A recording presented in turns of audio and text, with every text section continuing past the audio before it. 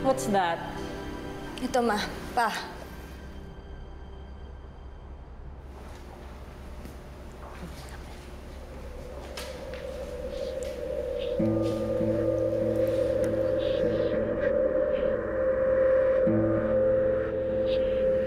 You're in love with a dead girl? An imaginary girl, pa. No, wait. No, wait. I don't understand. Ano nangyayari dito? Please, Edward, ano na namang kalokohan to?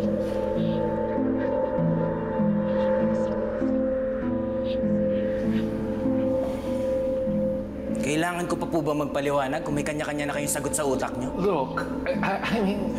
Yes, pa! Totoo nga. Hindi ho ba kayo naniniwala sa multo?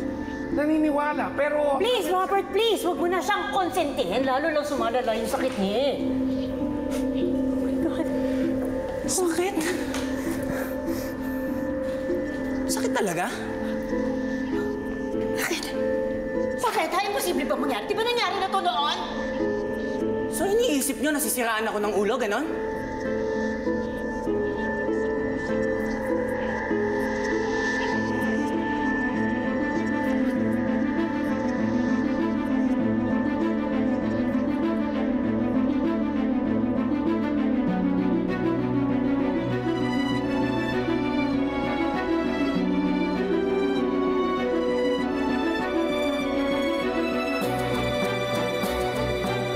Hindi ako baliw.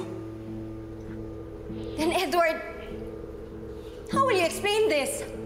Ha? Yung kausap mo sa video na to, andito ba siya? Ito, dito. Ha, Edward? Ano?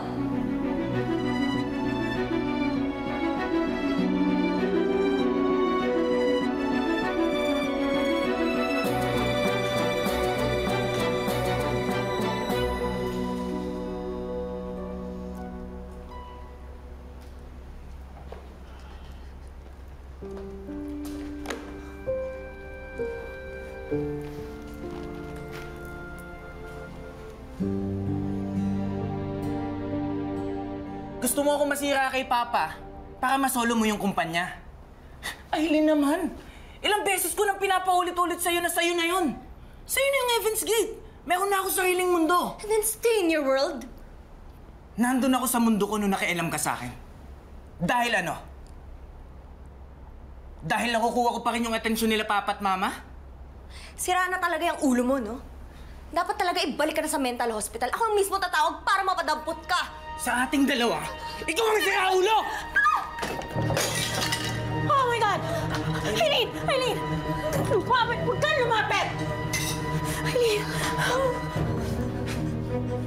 Aileen, Aileen, hindi ko sinasadya. Ma, hindi ko sinasadya.